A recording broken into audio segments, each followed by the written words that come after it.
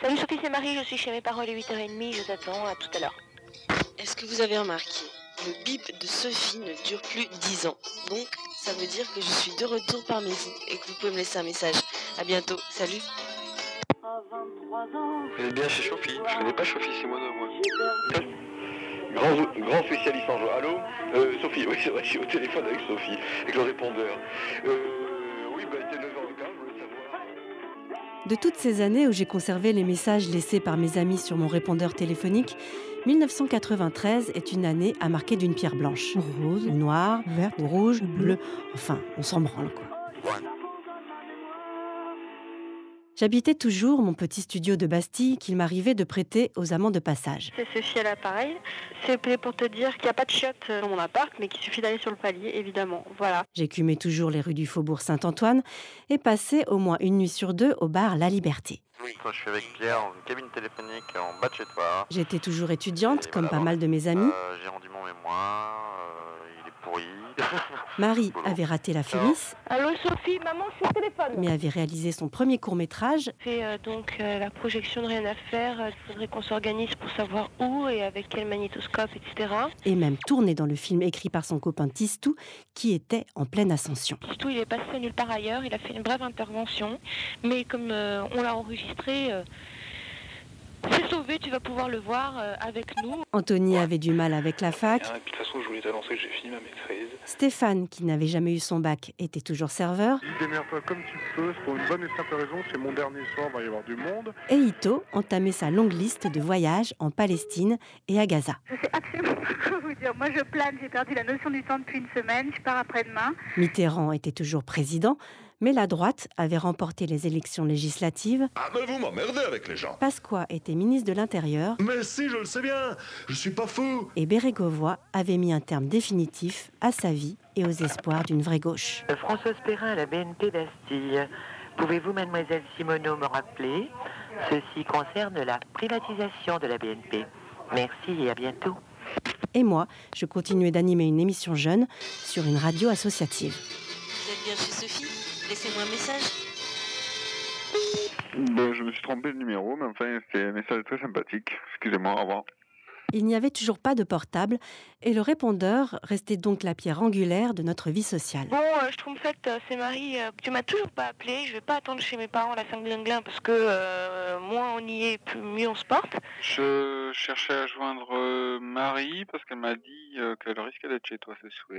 Ma gentille névrose, qui consistait à ne jamais rien jeter, à tenter par tous les moyens possibles de conserver le temps qui passe, était toujours relativement vivace. Monsieur Yann, bonjour. Et pour ça, mon répondeur restait un allié compatissant, toujours prêt, quand il le fallait, à me remonter le moral.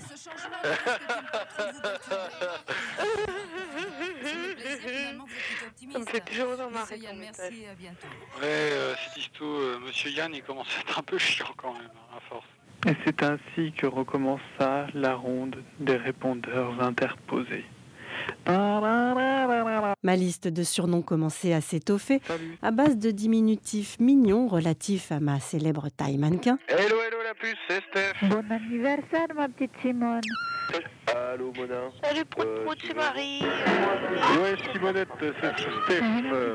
Ah, péricube qui suce. Et le 19 octobre, je gagnais une année. Je te souhaite un super, super, super joyeux anniversaire.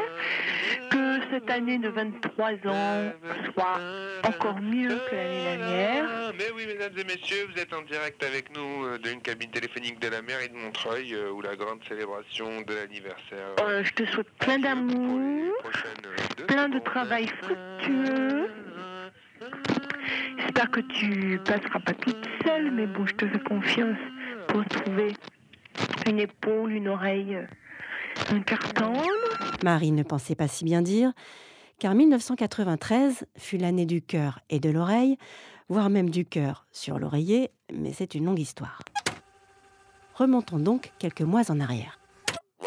Après avoir fait mes armes sur Fréquence Paris Pluriel, je débarque donc à Radio France. Se pourrait-il que je sois chez euh, Sophie Simoneau qui travaille à RFI La Maison Ronde, c'était le Graal. L'idéal d'une radio de service public. Et aujourd'hui, le jeu des 1000 francs est à Saint-Nizier de Moucherotte. Peut-être un peu vendu à la pensée unique, certes, mais où l'on ne diffusait pas encore de pub.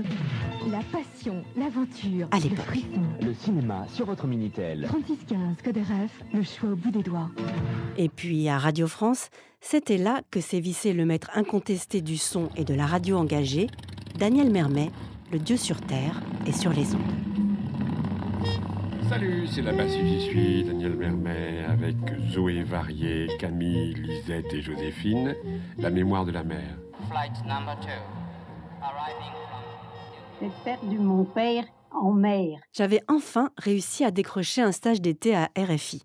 Ce n'était pas réellement Radio France, mais ils partageaient les mêmes locaux et jamais de ma vie je n'avais été aussi heureuse. Euh, Sophie, excuse-moi, euh, je voulais voir si tu étais là parce qu'on ouvre le champagne.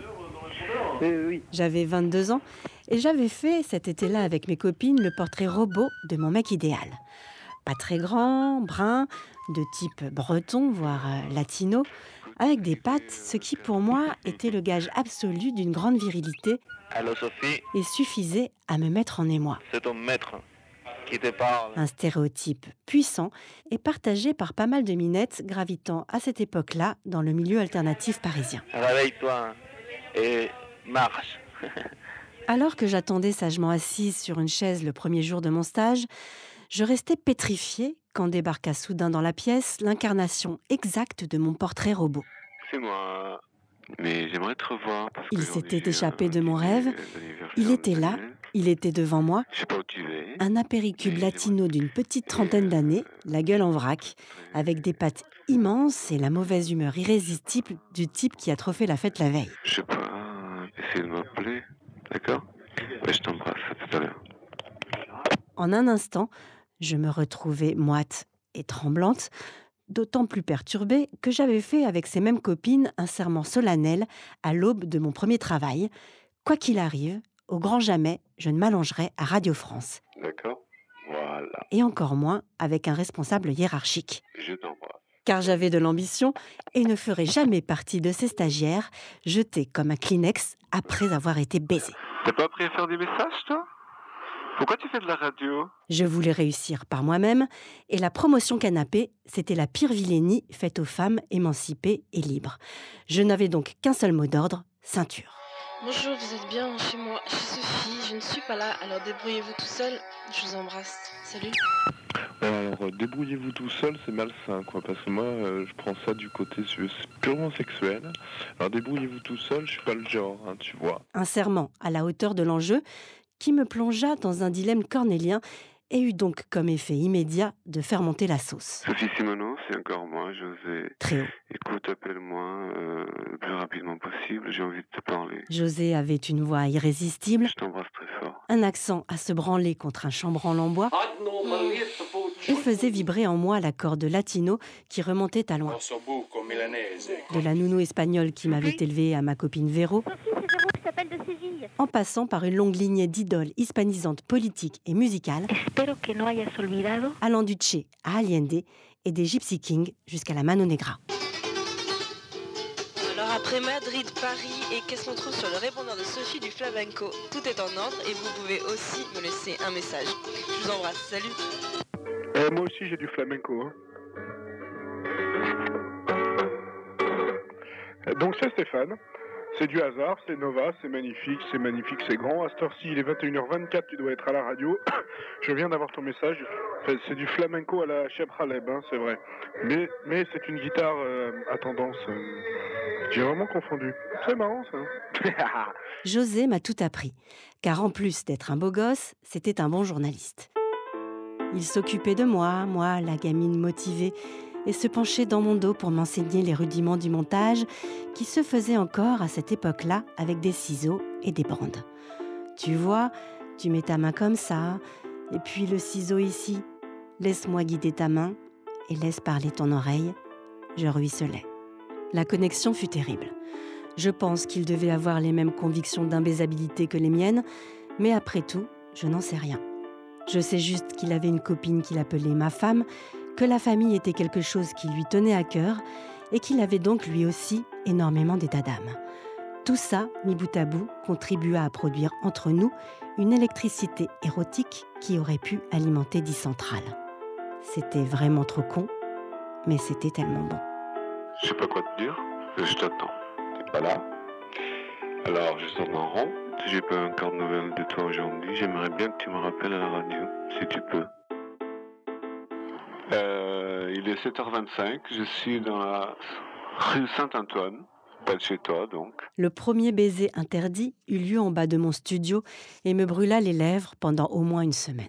Presque, presque, presque. Et je ne parle pas du reste, qui finit bien par arriver aussi. José était mon guide. J'ai envie de te voir rapidement. Ordre. Mon aîné.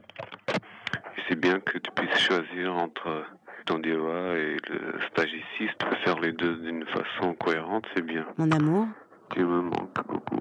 Et mon maître mentor qui mentait à sa femme, avec laquelle il avait une relation compliquée. Je sais pas si c'est bien si c'est mauvais. Car bien sûr. Mais euh, pour moi, c'est bien. Parce que je me sens bien avec toi. Dans le package fantasmatique rock'n'roll, j'avais coché la case mec torturé. C'est pas évident pour moi.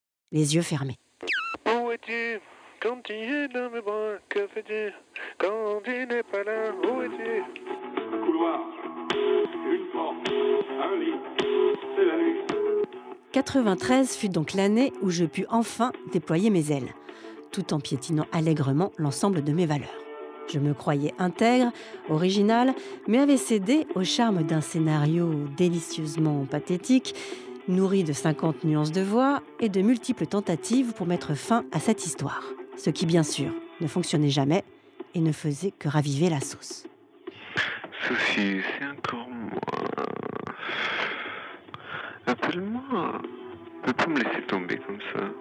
Ce matin, tu m'as dit que tu voulais arrêter. Tu es où? On n'appartient à personne. Moi, j'appartiens à personne. Voilà. Chérie, chérie. Voilà, je suis très heureux. Là, je peux plus parler, quoi. Je me sens pas bien. Enfin, avec moi-même. Mais t'inquiète pas pour moi. 42 78 83 23, vous êtes bien chez Sophie, mais je ne suis pas là. Et vous pouvez me laisser un message. Merci. Salut. Avec José, je n'ai pas mis de capote. Avec José, j'ai rêvé de mariage. Avec José, j'ai même songé à arrêter la fac et la radio Bon, je ne vais pas tout, je vais pas continuer longtemps. pour le suivre au Brésil où il pensait partir et ainsi devenir une femme au foyer au bout du monde. Mon idéal féministe avait du plomb dans l'aile. Le vendredi soir, José disparaissait dans sa famille jusqu'au lundi matin et m'appelait, parfois. On est samedi, il est 2 heures. Lui n'avait pas de chien à sortir, mais trouvait quelquefois des Je prétextes. suis sorti, acheter des cigarettes. Rarement. Voilà, j'ai profité pour t'appeler. Dans ces temps préhistoriques où le portable n'existait pas, l'appel non compromettant en situation d'adultère était à sens unique. J'attendais donc derrière mon téléphone, et cette attente est vite devenue compliquée à gérer. J'aime pas quand t'es triste. Aliénée et boudeuse, frustrée et en demande, Bah, je tiens à te dire qu'aujourd'hui, t'étais joliment habillée. mon degré de sexitude retombait sous le niveau de la mer à mesure que grimpait chez mon partenaire de ce jeu à la con un sentiment de culpabilité et d'ennui. T'étais radieuse. Voilà, c'est comme ça que j'aime te voir. Un partenaire Bonne humeur, qui ne m'aimait jamais autant qu'à me voir libérée et joyeuse, beau sourire. bien que totalement sous emprise. Je sais pas qu'est-ce qui t'arrive? Alors, ce qu'on va faire, c'est que moi, je vais penser à toi. Cette histoire-là n'a pas d'âge, mais elle m'était insupportable car être une femme asservie n'était pas une option possible. Comme ça, tu vas être de bonne humeur. Mon stage se terminait dans deux mois, j'étais red dingue de lui, il devait donc aussi être red dingue de moi si je voulais continuer de travailler à Radio France. Et tant pis pour sa femme. J'étais à nouveau tombée amoureuse d'un mec maqué comme à la grande époque d'Ito et Anthony. Oedipe se régalait, je n'avais pas prémédité ce combat, mais devais le gagner. Je n'avais pas le choix. Apparemment, pour des raisons techniques, nous ne pouvons pas enregistrer votre réponse pour vous faire participer à notre grand tirage au sort. Je vous remercie de votre accueil et j'en suis sûr, à très bientôt. Dans cette bataille, mon répondeur se retrouva une fois de plus au front, car j'entrevoyais la possibilité d'une victoire grâce à la découverte d'une fonctionnalité de mon fidèle compagnon. J'avais enfin compris comment l'interroger à distance. C'était relativement complexe. Il fallait, quand je n'étais pas chez moi, composer très rapidement un code, juste avant le bip, pour écouter mes messages. Quand ça voulait bien fonctionner. Une prouesse technologique qui me permettait de sortir m'éclater tout en pouvant vérifier à distance que j'osais penser bien à moi. Il est 2h30 du matin. Un truc vaguement maso pour lui faire croire que je ne l'attendais pas et ainsi rester désirable. Bon, si t'es chez toi, j'aimerais bien que tu répondes. Je sais que t'es là parce que tu m'as dit que t'allais rentrer pour dormir, t'es fatigué. Je déployais donc une énergie féroce à ne jamais être chez moi. Bon, écoute, je crois que j'ai Jamais. abandonné l'idée de pouvoir te joindre un jour, alors... euh, Jamais. Sophie Simoneau est avec nous, bonjour. Bonjour. Vous allez bien Très bien. Il y a des bars dans le 12e Très bonne question. Y a-t-il des bars, Sophie, dans Oui, le 12e il y a des bars. Des petits bars qui ont su conserver l'esprit populaire et frondeur. Et le bar en lui-même de la liberté, c'est c'est un... Bon, bien sûr, on ne fait pas la révolution tous les jours, mais par contre... c'est- Pendant cette sourde bataille, mon répondeur se mit à faire preuve d'une sensibilité troublante. Il s'était soudain doté d'une âme. Bah, ton bip n'est pas poli, hein. Il lui coupait la parole Il m'a coupé complètement en midi. systématiquement, Ouais, c'est moi encore, euh, c'est ta machine qui m'a coupé la parole comme ça. comme pour lui signifier ce que je n'arrivais pas à lui dire. Bon, euh, Sophie. Enculé, largue ta meuf, nouvelles. dégage. Je veux savoir comment tu vas. Moi, la femme libérée à deux francs, Bon, c'est toujours moi, je vois qu'avec ton répondeur, j'ai pas de chance de m'expliquer, alors. et j'avais l'impression d'être devenue la fiancée du docteur Frankenstein. Était-ce un trop-plein oedipien Le mauvais œil jeté par mes parents psychanalystes Voilà mon amour, je t'aime. Ou juste une lassitude Mais ce qu'on pensait impossible arriva. L'amour s'éroda. Voilà. Je t'embrasse, Sophie. Face aux absences répétées, Je suis désolé, mais j'ai pas pu t'appeler samedi. aux mesquineries banales, Moi, je voulais te faire un cadeau, mais j'ai pas eu le temps. Petite médiocrité. Et en plus, je me suis fait draguer par un travesti. encore, Et je suis obligé ah, de partir. encore, Et encore une fois, je m'excuse pour l'autre jour, mais tu m'as pas dit alors que tu passais. face au bobo de la vie où l'on aimerait être deux, Henri, 11h30 ce lundi, euh, pour t'annoncer que Harpo est mort de mort naturelle. Et euh, voilà, il, il est mort doucement, euh, tranquillement. C'était la meilleure solution finalement. Et ce matin, ben, je l'ai conduit au vétérinaire. et tous ces moments importants qu'on passe en solitaire. Mais c'est important, 23 ans. Ce que j'aimerais, c'est être avec toi? Partager. euh, Grâce à la force des copains, Et puis, euh, c'était pour te dire que de toute façon, les béliers, c'était les plus têtus et les plus... à l'énergie des voisins, C'était pour te dire que peut-être, hein, j'avais trouvé le prince charmant pour toi. Non, je déconne. l'histoire finit par s'abîmer, à emprunter un chemin un peu banal, Bon, j'espère que tu vas passer parce que tu, tu m'as dit que tu passerais pour récupérer tes affaires. un peu triste, D'ailleurs, ça soit dans ton message de répondeur. T'as une voix très triste. Bon, euh... jusqu'à ce qu'apparaissent peu à peu Ouais, Sophie, c'est marqué à l'appareil. Nous sommes jeudi. de nouvelles voix matinées d'ultra basse sur mon Panasonic. À propos de Pulp Fiction, si jamais tu n'as pas craqué, tu n'es pas déjà allé le voir, ou tu es peut-être même en train de le voir, qui sait. Soso, c'est les... On peut pas dire que tu sois bavarde. Écoute, je t'appelle parce que... Parce qu'il y a du monde dans le couloir, faut pas que je parle fort. Parce que je viens de voir Marc. Et euh, je voulais savoir en même temps... Enfin, voilà quoi. Essaye de me téléphoner au nu magnétique. Allez, à plus tard, ciao. Bref, l'histoire d'un amour fou gagné par la banalité de la vie J'ai rêvé de toi en plus. qu'on ne regrettera jamais d'avoir vécu. Qu'est-ce qu'on était heureuse dans notre rêve. C'était génial. Comme t'étais belle. Car quelle que soit la morale, quelque chose d'incroyable a surgi. En réécoutant ces bandes presque 20 ans après, je ressens instantanément la tendresse Bonjour Soso, et la joie, mon amour, petit chéri. l'excitation Ça presse, ça presse, ça presse, ça presse. J'ai envie. et le trouble. Je vais être avec toi, Sophie. C'est, toi que j'aime, Sophie. Je peux pas m'en passer de toi. Je me sens à nouveau transportée par sa voix. Tu me manques beaucoup. C'est toi que je veux, Sophie.